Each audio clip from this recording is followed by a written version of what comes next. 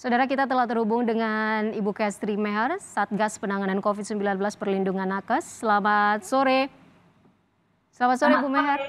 Iya. Selamat sore, salam sehat untuk kita semua. Salam sehat. Virus corona varian Omicron ini sudah terdeteksi di Indonesia dan ditemukan di Wisma Atlet. Ibu Meher, uh, kita pengen uh, mengetahui bagaimana kondisi para nakes uh, di Wisma Atlet saat ini.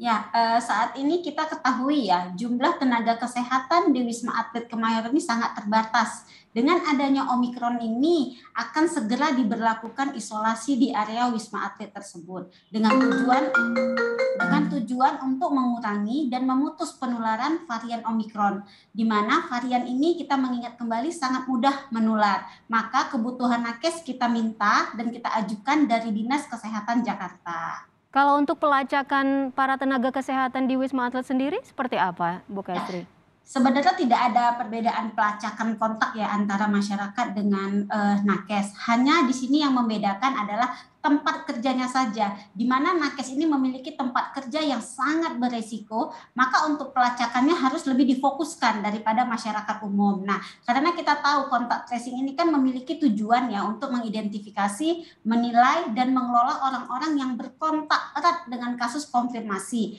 Nah, untuk mencegah penularan tersebut, maka kontak tracing ini sangatlah penting untuk kasus yang terkonfirmasi di mana memiliki hasil PCR yang positif. Kenapa? Karena dapat menularkan penyakit sejak dua hari sebelum hingga 14 hari sesudah timbulnya gejala. Maka karena itu harus benar-benar difokuskan untuk pelacakannya terhadap nakes.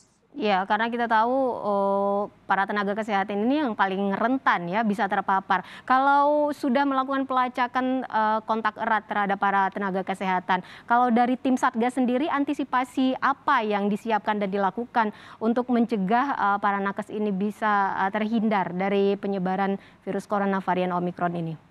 Ya, pemerintah dan Satgas ya secara khusus memberikan perlindungan tambahan kepada nakes. Yang ke, yang kita ketahui di mana nakes ini kan sehari-hari dihadapkan dengan resiko tinggi penularan. Oleh karena itu, maka tenaga medis sebelumnya diberikan booster terlebih dahulu dan yang yang pertama yang mendapat booster adalah tenaga medis. Selain itu juga kita tidak lupa menghimbau agar selalu menggunakan APD yang sesuai dengan levelnya. Lalu pastikan juga untuk memeriksa uh, ketika memeriksa si tenaga medis memakai masker medis dan si pasien juga memakai masker medis. Nah, kita juga menghimbau untuk tetap menerapkan cuci tangan sebelum dan sesudah. Lalu jangan lupa juga untuk uh, melakukan uh, pemeriksaan rutin yang difasilitasi oleh pihak pemerintah dan Satgas. Ada antisipasi yang khusus tidak untuk para nakes ini, Bu Kestri? Mengingatkan uh, Wisma Atlet beberapa tower juga sudah dilakukan penutupan total para uh, nakes atau pasien yang ada di sana tidak boleh berkeliaran atau berpindah tower begitu.